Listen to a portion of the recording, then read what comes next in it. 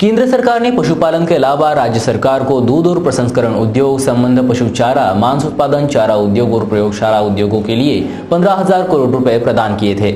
सरकार ने इन विभिन्न उद्योगों के लिए 90 प्रतिशत ऋण और तीन प्रतिशत ब्याज रियायत की योजना की घोषणा की है। पशुपालन एवं डेयरी विकास मंत्री सुनील केदार ने प्रदेश के इच्छुक व्यवसायियों, व्यापारियों और संस्थाओं से 90 प्रतिशत ऋण एवं 3 प्रतिशत ब्याज रियायत योजना का लाभ लेने की अपील की है।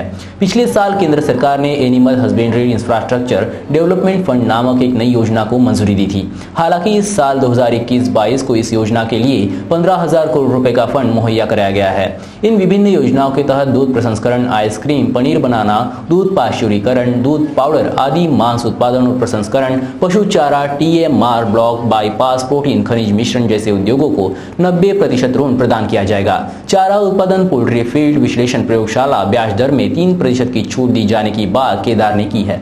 विभिन्न उद्योगों के अलावा लिंग विशिष्ट वीर्य उत्पादन, बाह्य निषेचन केंद्र आईवीएफ पशुधन की शुद्ध नस्ल के प्रजनन को भी शामिल किया गया है। केदार ने ये भी कहा कि इस योजना से व्यक्तिगत व्यवसायों, किसानों के उत्पादकों, निजी कंपनियों और स्थापित कंपनियों को लाभ होगा। दस्ता दस्तावेजों की सूची केंद्र सरकार के पशुपालन पोर्टल इन पर उपलब्ध है। योजना के लाभ हेतु पोर्टल के माध्यम से वेबसाइट पर ऑनलाइन प्रस्ताव प्रस्तुत करने की अपील की गई है। राज्य पशुपालन विभाग और डेयरी विभाग की वेबसाइट इन लिंक उपलब्ध है। इस योजना के दिशा निर्देश मराठी में प्रकाशित किए जा रहे हैं।